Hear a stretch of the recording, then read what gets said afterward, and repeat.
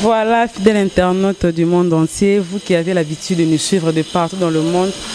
je vous dis bonjour et bonsoir selon l'heure à laquelle vous allez me capter. Vraiment, c'est un grand plaisir de vous présenter cette émission qui passe à travers notre site internet www.kongo-direct-tv de M. Arnaud Nvouma. Mon chef, le réalisateur noble, on t'a fait maître Guim, c'est sont lunettes. Dans ah, commentaire, là-dessus, tozocontinue euh, toujours mosala humble servante na bino nde bomesana kobenga nga la valeur de la presse congolaise sandrine mongoza yeyo liboso na bino azo presenter bino émission oyo lelo lelo vraiment na plateau na nga nayambeli bino effacer le tableau métro oyo nabenga ye mpenza aza kati na nga vraiment aza mpenza motu na ngai donc akoboyela nga interview te naye kozwa ye na répétition na ye esika arepetaka akati même voir même répétition mpo tosala émission oyo vraiment na remercier et puis nazosalue ye vite fait mpe tosala émission nde boyebi ka makambo ndenge ekendaka voilà bonjour maître Voilà, bonjour Sandrine Mongoza, la baronne. Hey, nga la baronne te nga la valeur de la presse congolaise nga te nga bi la baronne de la presse ezoka nga jour me nandimi na nga yango merci beaucoup baboya bafleur te mais trop boni santé ouais ça va nzambe azosala toujours ouais. nayokuta en plein boulot mais ozorépéte banzembo papa chéri makambo ezokende ndenge nini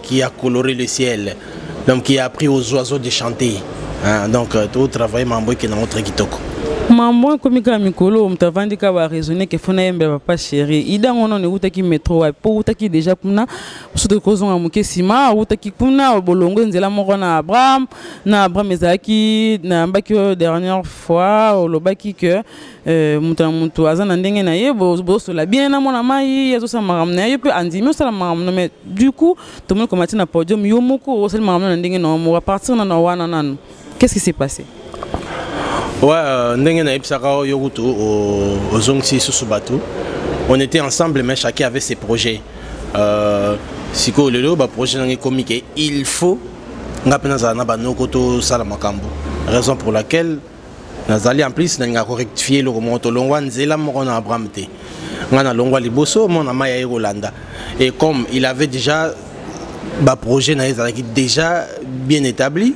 mais bon nakende atia mwana mai poa donc tosala na ye orchestre te nakendaki kotia ye poa pendant ke mwa nakobongisa nano baprojet na ngai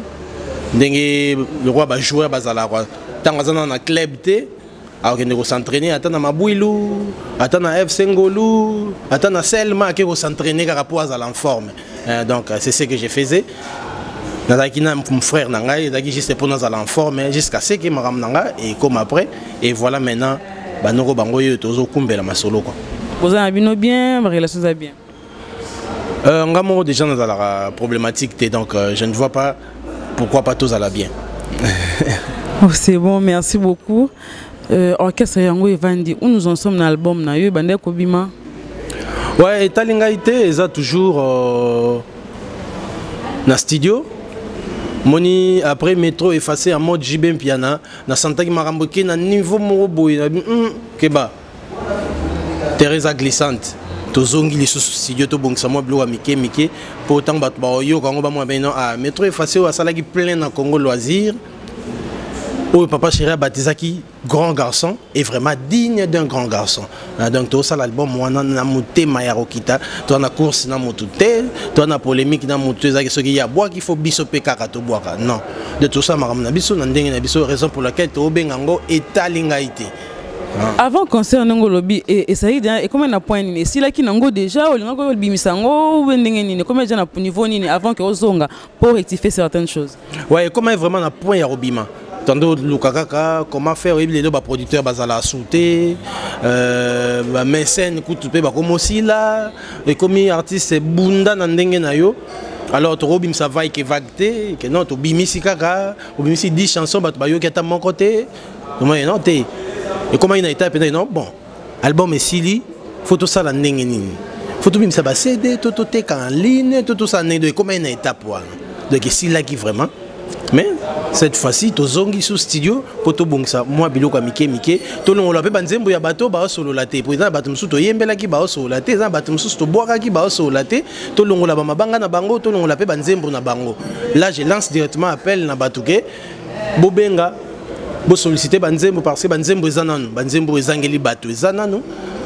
bamabanga mpe eza nanu tokobwaka nanu bamabanga donc euh, c'est un peu ça mais tosolo nga mpe naosola bien te mpo libanga na na monti olongolo se nga mpe naosola te bien sûr que oui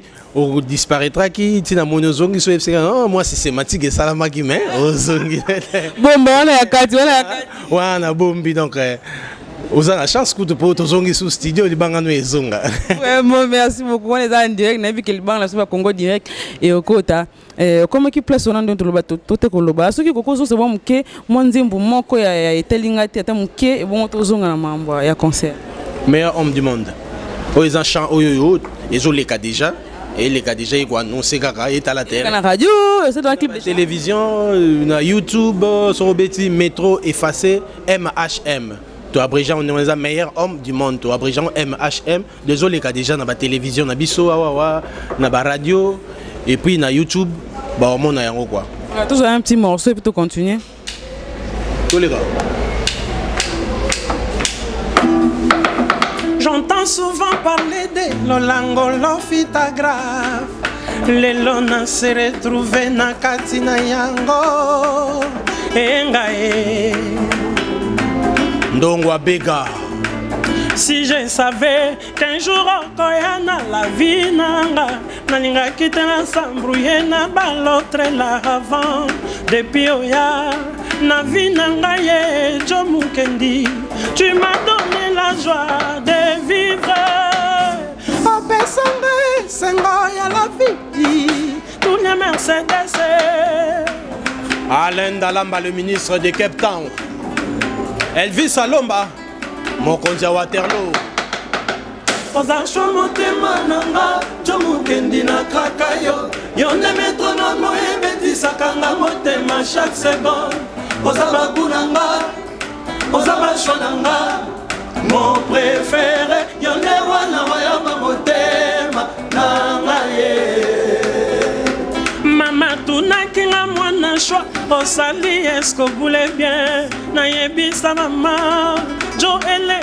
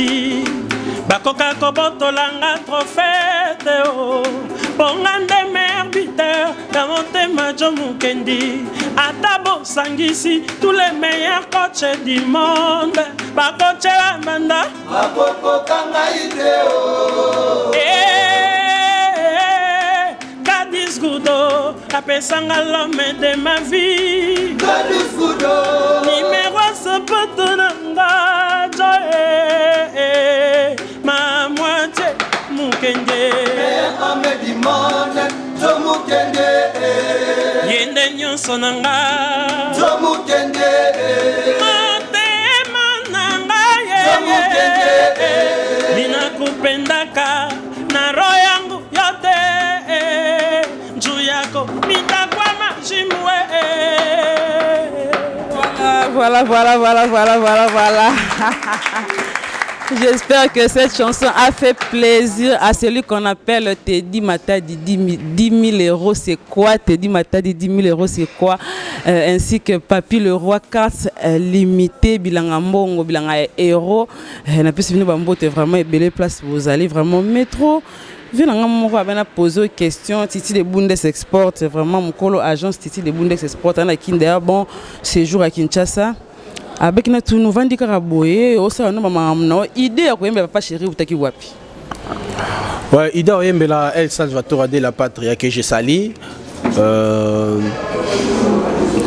eutaki à partir ya moni biso bamusicien congolais tozalaka valoriser kaka soki okufi kaka soki okufi omona ata mosusu nde bato bakanisi babanda oyembela yo omoni soki okufi ata na bachaine na biso ofuta mbongo te banzembo nde bakomobeta yango ndeti likambo ata na ah pourquoi fo bamisien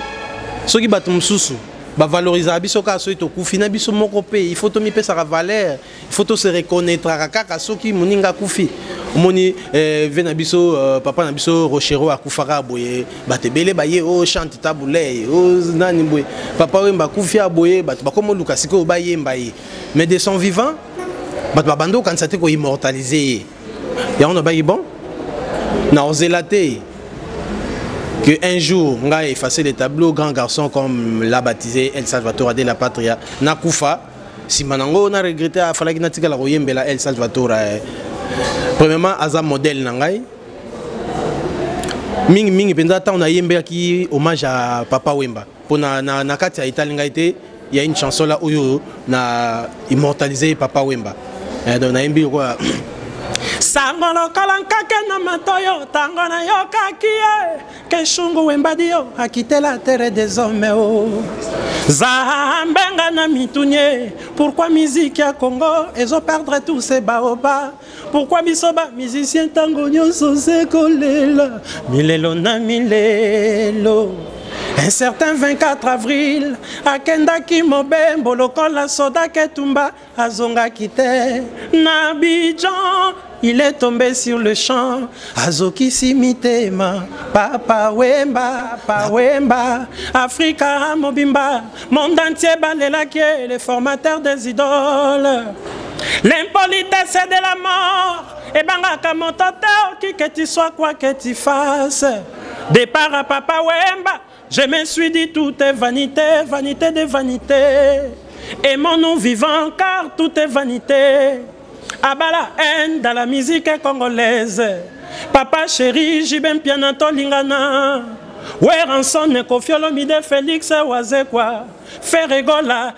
Fali Ipupa e Héritier Wata Maestro Fabrigas Et que vive la musique congolaise Oui, oui, oui, oui, Nathan Nalobi nayembeli papa mpo naloba ngo na bainterview na ngai ebele ke nazalaka bamodele mibale papa wemba na papa chéri so nazwi likanisa koyembela papa yemba si akei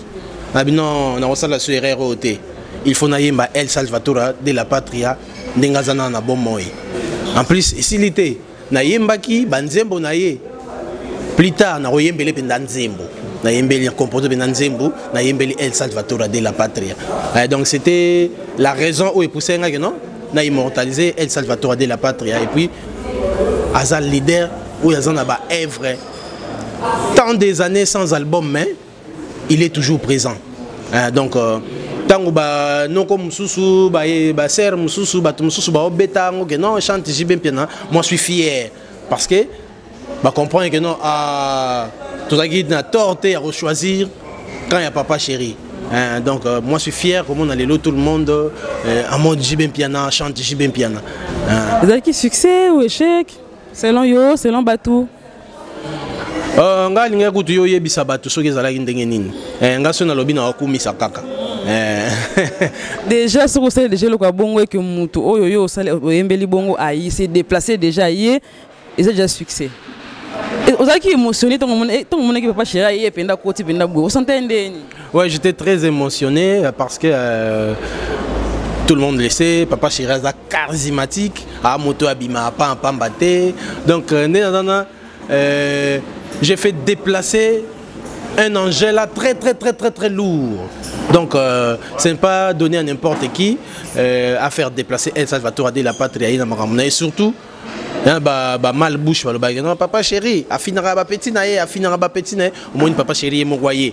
apesi makambo en plus abatisa bi grand garçon euh, donc euh, j'étais très très émotionné namonaki moni jour ya liboso namonaka ye ntango nakoti bcbg natala papa chéri na télé ntango nakoti bcbg mokolo ya liboso namonaki ye eza ndenge namonaki ye so na congo loisir de namonaki ye ya sika na niveau moko donc ah, yo okumisa yo okumisa amonaki ye ya sika mpenza kuamasi ya sika makasi donc namona ndeti namona ndeti kaka nde natalaki na télévision mbala liboso namona ezalaki toujours wana na congo loisir eh, donc euh, merci na el salvator de la patria merci infiniment je ne cesserai de vous remercier parce que geste wana eleki grandiose quoi eleki monene Euh, tala lelo oyo makambo epesami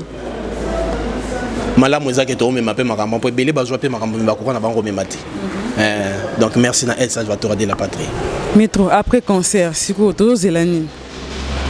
après concert la série continue on elinga baobimisa mo na kati yo te baobimisa mo babiloko moko moko moko nono tino na marché ezosalasala ofandi kaka boye vraimen pa moko wana ebima kala wana te yo ozolobela awumela awumela ebima kala mais euh, nze moko eza en cours nze moko ezobeta mikolo oyo to toyembela o sikoyo ya meilleur homme du monde mais mpe bagénérique ouais nga aza chanteur il faut na prouve nano ke na chanteur eh, nga na mobini te na mobwaki te eh, nga naza moyembi ebe eh moni générique ekomi recours ya bafaux chanteur kobisira ata na générique ata moni bato bafanda bayoka yo ozoyemba na nsima nango babeti mpe maboko ce n'est pas donné à n'importe qui mais kobinisa koyeno moto soki salango na ye kobina na ye mais moto ata lango ye soki ayoka nkunga kitoko te akobina te akobeta maboko te donc ndenge na prouve bato noke no ngai na chanter maintenant la kala mingi tawa donc d'ici le, le 20 octobre bakozwa loketo petepete mm. eh, donc bakozwa loketo petepete na loketo bini eza loketo eh. animateur a sur place a te animateur azali animateur azali me bango nyonso bango tu bazawa bakuti deja etali ngai te ekomi na suka naoluka nde na créer loko moko mpo banoko mpe fo mwa visibilité kua eh, mais oyo ezobima oyo ezobima nanu eza napesi face mosusu de nga moko na anime yo moko anime eh. ah, mekele biso ko eza te exclusivité vraiment ya congo direct mene ezalaka ya biso moko kaka voilà toke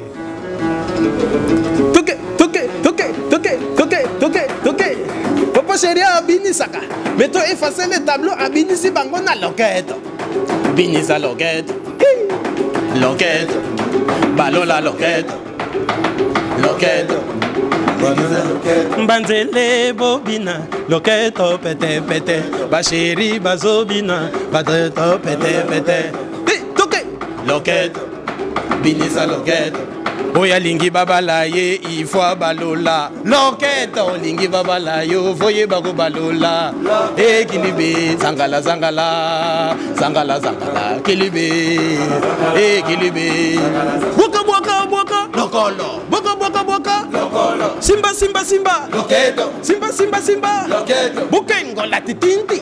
Bukengola. Bukengola titinti. Bukengola. Tobomi tobomi tobomi.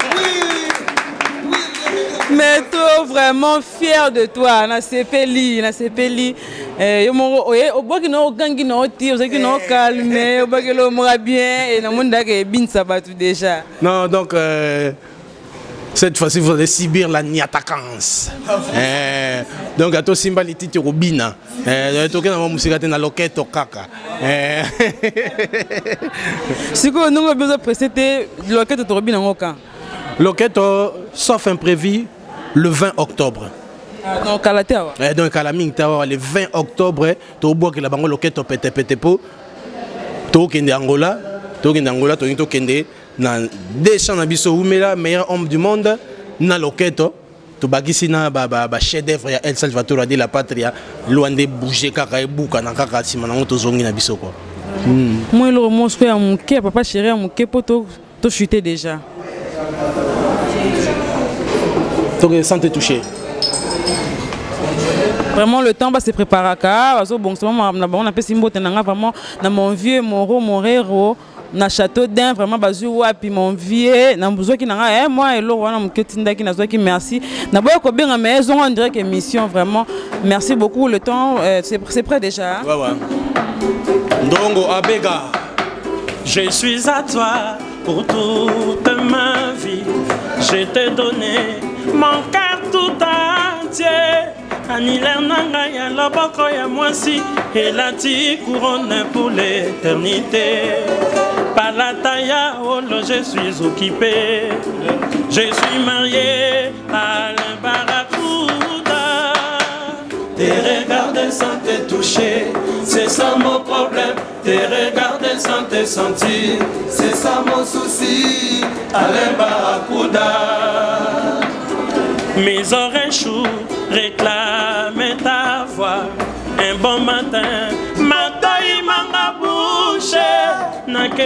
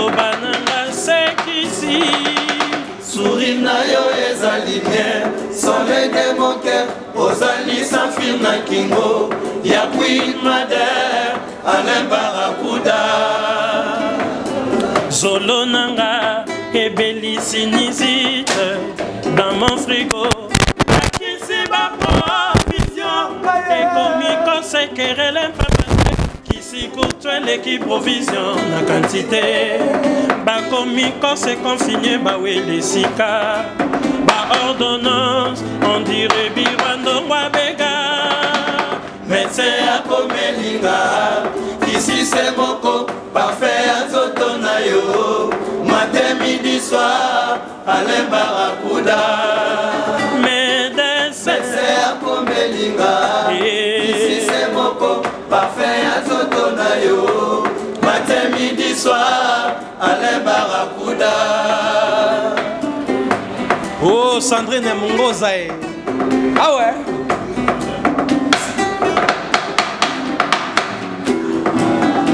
Arthur Nzete Nzete ya mbongo Elvis Alomba Mokonza Waterloo Freddy Kitenge Val de Marne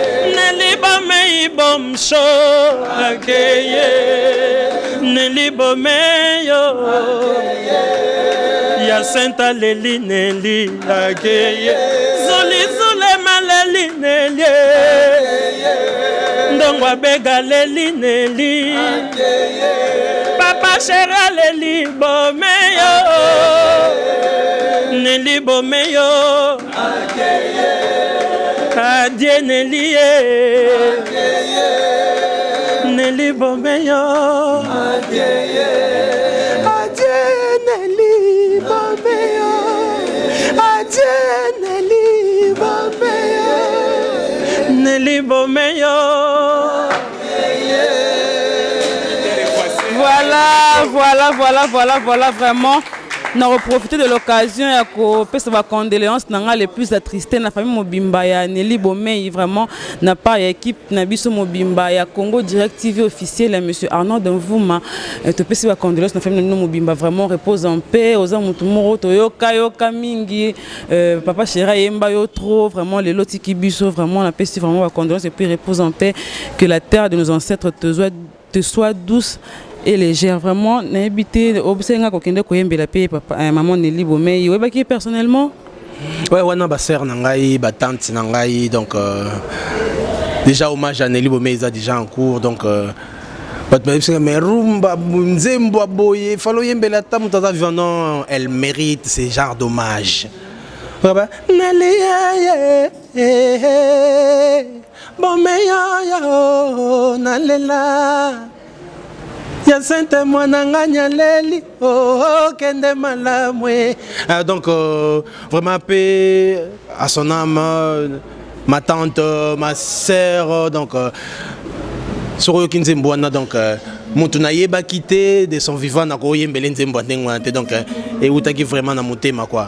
Eh, donc euh, paix à son âme nayebi ke ya sainte monangani bamadobula bazuli zulema ba euh, alcavel euh, patrick kivuila ils sont inconsolables mais que faire dieu a donné et il a repris de ka kombone kumisama donc euh, na famille mobimba ya neli bomei donc euh, nous sommes des cœurs quoi mm. tokomi na fin ya émission métro mot de la fin soki ba confirmation ba makambo mosusu ba programme et tout opesi directement ouais déjà kasango euh, congo loisir était tombé kasango lo tombé euh, nayebi te émission bato bakotala yango jour nini mais lobi samedi le 15 tozali lelo le 14 totourne émission ya biso le 14 lobi samedi le 15 nous allons faire tomber lemba na température 40 wana donc lobi toza wana tokoyemba toujours mosala toyebi eza kaka koyemba en dehors de ça nayebisi bino deja ke sauf imprévu le 20 octobre bozwa loketo petepete mais en entendant bocontinue koconsommer meilleur homme du monde babi kano na nzembo soki ocontredire nga kota yoka apporter nga ba, ba, ba correction na oyebisa nga soki okorige yango nani donc sur tous les plans mélodie parole instrumentale donc orchestration kitoko donc euh, bopesa biso kaka temps bopesa biso chance bomona tokosala makambo ya minene papa chéris apesi makambo bino bosoutenir sikoyo parce que ce n'est pas tout moment toana besoin toke studio papa chéri epesa biso mbongo ya studio toana besoin eh, tobeta conseil papa chéri epesa biso mbongo ya instrument te papa chéri baza artiste emisio lokola ngai aza pe na ba kambu na ye aza na ba charge na ye donc bino siko bo soutenir de sorte moi enveloppe po ozwaki mais obligé obligé epakolami ya kindoki papa chera mati na podiumbango papa chera mati na podium il a arrêté le temps parce que le temps était avec lui eh, donc euh, na lobi lisusu merci na el salvatore de la patria merci na roger ml empreinte digitale ley de salvatore sur le net donc euh, ye azotika ngai te aza na biso elongo merci na ba vrai vrai tout makambo yango oyo bolelaki trop euh, mwana moko abima na bcbg nazwi charge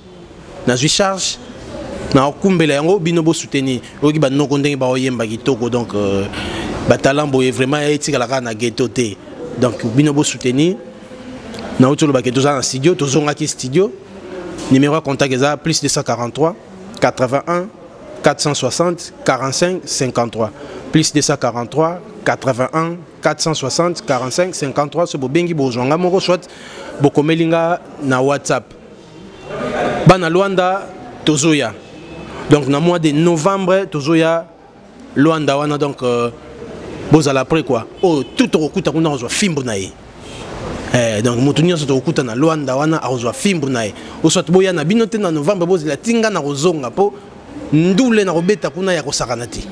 eh. donc euh, ezalaka koyeba ouais, ouais. moyina maniano ouais. donc donc euh, bozala na bino calme mosala ezosalama bokoyoka bagénérique oya sikoyo na album oyo bozwa tokotia mabonza bozwa baojana euh, euh, donc makambo ya bien ezali kote konzemba kutu wana donc naza deja na charge wana Bo se tracasser te. Bon bangela tam sous géring mais loketo pete pete déjà il go rassurer bino. Na pesi mbote na Freddy Kitenge Val de Marne. Hein, Freddy Kitenge merci pour notre soutien nabosani te artir nzete nzete ya mbongo euh, venanga elvis alomba mokonzi ya waterloo boza ebele tamkar le fils 25e commune venanga bumba awilo l'international sans oublier patou kusu le meilleur homme du monde joe mukendi joe, de la, joe balar joe mukendi de cape town l'international alain dalamba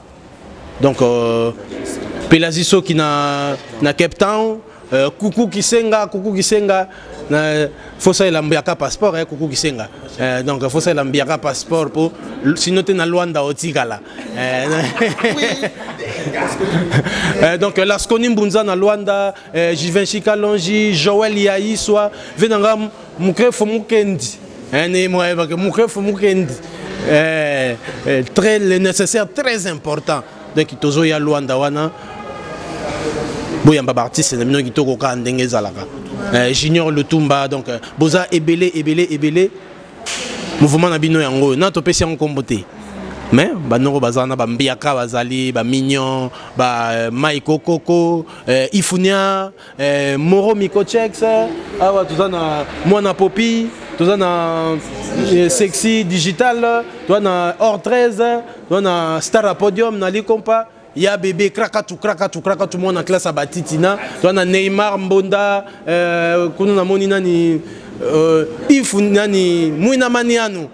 Eh, tokotia mabonza donc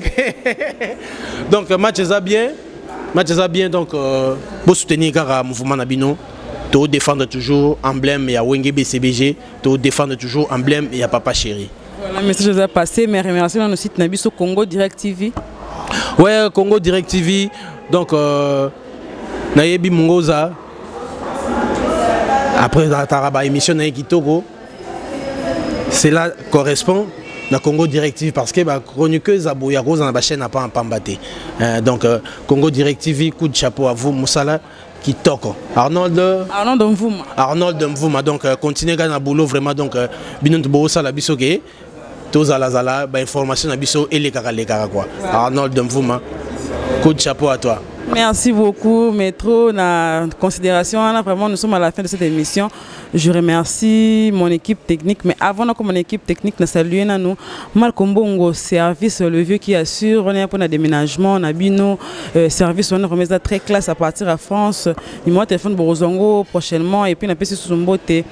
na vie na nga sayon siona na paris vraiment bambote ya yo yango wana eh, bokontinue kolanda congo direct tv officiel petite sœur na bino yeyo bomesana kolanda bopesa déjà confiance voilà Euh, merci na équipe technique na ngai namoni deyo kikwedi mon cordon namoni le capitaine de cameraman genoa bikoma epuis na baoyo baya libanda Confrère na ngai Isaac euh, MPKL mbote ebele mpe mosala malamu place ozali. Bosanaki